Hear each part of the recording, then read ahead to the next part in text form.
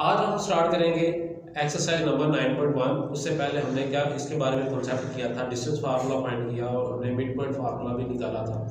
और बहुत से दूसरे कॉन्सेप्ट जो आप पीछे पढ़ के हैं आप उनको साथ लेके चलते हैं। तो देखिए find the distance between following pair तो हमारे पास जो दो पेयर्स गिवन है, ये आर्डर पेयर गिवन है ए और बी ये हम क्वेश्चन इंपॉर्टेंट क्वेश्चन इसमें से तीन पार्ट है, ये मैंने लिखे हुए हैं तो आपने करना क्या है, इनके ऊपर फार्मूला यूज़ तो मैं पहला क्वेश्चन करता हूँ, इसके अंदर है A is equal to nine two और B is B into seven two तो ये जो है, ये पॉइंट्स हैं।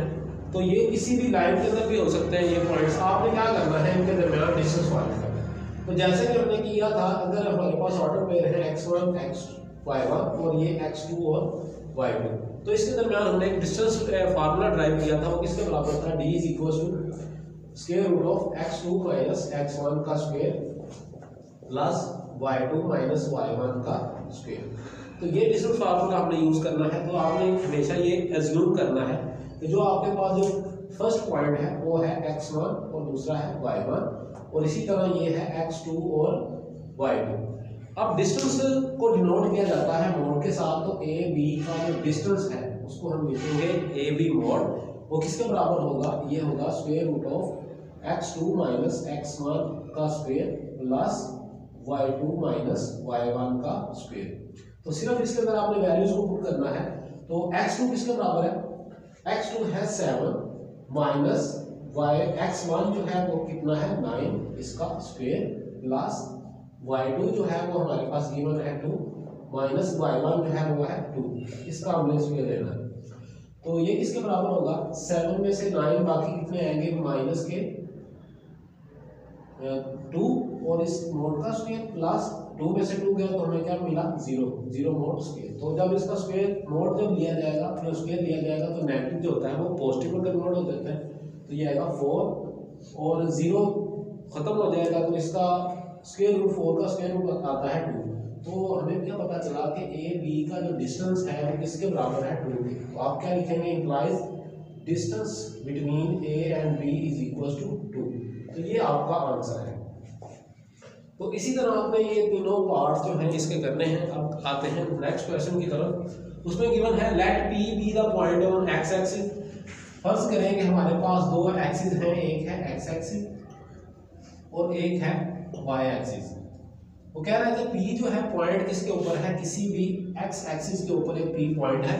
विद कोऑर्डिनेट ए यानी कि जो उसका कोऑर्डिनेट होगा ए इसका हमारे पास दो कोऑर्डिनेट होते हैं। एक एक्स कोऑर्डिनेट होता है और एक वाई कोऑर्डिनेट होता है। एक्स के ऊपर जो कोऑर्डिनेट है, वो एक्स का कोऑर्डिनेट होगा, यानी ये एक्स के ऊपर एक्स होगा और दूसरा जो होगा वाई वाई जो होता है एक्स के ऊपर ज़ीरो होता है। तो इसलिए हम यहाँ पर क्या लिखेंगे? ज़ीरो इसी तरह क्यू जो है क्यू वो किसके ऊपर है? ये क्यू पॉइंट जो है, ये वाई एक्सिस के ऊपर है।